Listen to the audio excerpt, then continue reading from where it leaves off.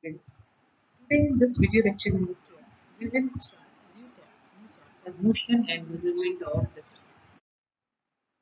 We all travel from one place to another almost every day, either to school, to buy grocery item, or to our friend's house, or to visit the doctor, or to the playground, etc. etc. Many places are there. So, how do we go to these all places? We go to these all places by walking. The basic thing we can reach these places is walking. Ancient people traveled mostly on their feet and carried their things on their head or back. Later, humans learned to tame animals and used some animals like donkey, horses, camels, elephants, etc. for transportation and carrying their goods from one place to another. That? What happened? After the invention of trains, transportation became more easy. People started to use bullock cart, etc. And with the new discoveries and invention, people started traveling long distance in very less time. Let us see what is measurement. Measurement is the comparison of an unknown quantity with some known quantity of the same kind. Measurement of any object consists of two parts.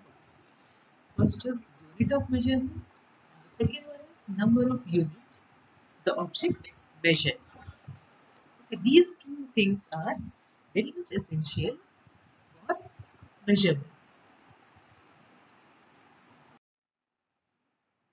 Earlier, uh, scales, measuring tape and all were not invented, people used non-standard unit of measurement. First, the most basic one was handspan. What is handspan? The length between tip of the thumb and little finger, as you can see in the picture. Length between tip of the thumb and the. It is called one handspan. It has been the most important and conventional technique for measuring length, breadth, and height of the object, but it lacks preciseness since it varies from person. Method was cubit. What is cubit, student? You can see from this picture, it must have been clear to you what is cubit. The length between the tip of the middle finger and elbow is called cubit. This technique was used to measure the string of a kite, but it also differs from person to person, therefore it lacked preciseness. Cubit, this length, it also differed differ from person to person. Next was. It is a distance covered by a step. This picture you can see distance covered by a step. It was conventionally used to measure the length of the rope, but it also differs from person to person, therefore it also lacked preciseness. Very well you can see the size of your step and your uh, father's step. You can see the difference. So this was this was also considered as non-standard unit Now let us come to standard unit of measurement. A standard unit is a unit which has a fixed value which does not change from person to person or place to place. It is fixed all over. it is not it is not changing from person to person or place to place. Such as SI unit of length is meter, SI unit of time is second, SI unit of mass is kilogram. Now what are the necessary precautions for accurate measurement of length? When you are measuring something with the ruler, what you should do?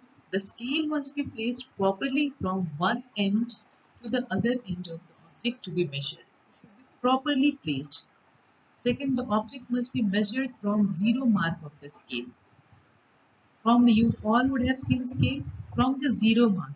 Whenever you start measuring the length of any object, you would start measuring it with zero. Or in case the edge of the scale showing zero is broken, some other digit can be taken as the initial reading. Okay, if the zero, if the zero is broken, then what we can do? We can take some other unit, some other digit that is 1 or 2, whichever is clear in the scale from there for initial reading. Now devices for measuring length are, there are different devices used for measuring length. Here you can see ruler measuring tape meter scale vernier caliper screw. These all are the different different devices with the help of which we can measure the length. Ruler the length of your compass box we can measure using ruler. Then measuring tape. If the object is round then we use measuring tape it can also be used to measure the waist. When you go to tailor shop, you would have seen that he uses measuring tape to measure your waist because it is a flexible. Because this one is the flexible one. Okay, it can increase, it can uh, increase the reading or decrease the reading as per the as per convenience. Next is meter scale. It can be used to measure the height of the hall. Height of the hall is measured with the help of meter scale. And next is vernier caliper or screw. They are used to measure very small length which are less than 1 millimeter with accuracy. Those objects which are less than 1 millimeter, what is used? It is the vernier caliper which is used for measuring it. Measuring curved line with a thread. To measure, use a thread from one end of the curved line to the another end by stretching the thread along the line.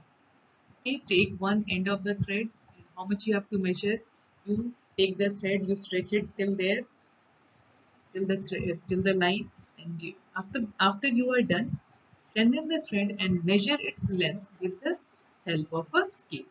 After you have finished the uh, measuring the curved line, take the thread from there and put it scale you will and see the and note the reading you will get the reading this was the end of your first part. Soon i will be uploading the second part. And you can take the notes from this video itself by pausing the video in between. Thank you students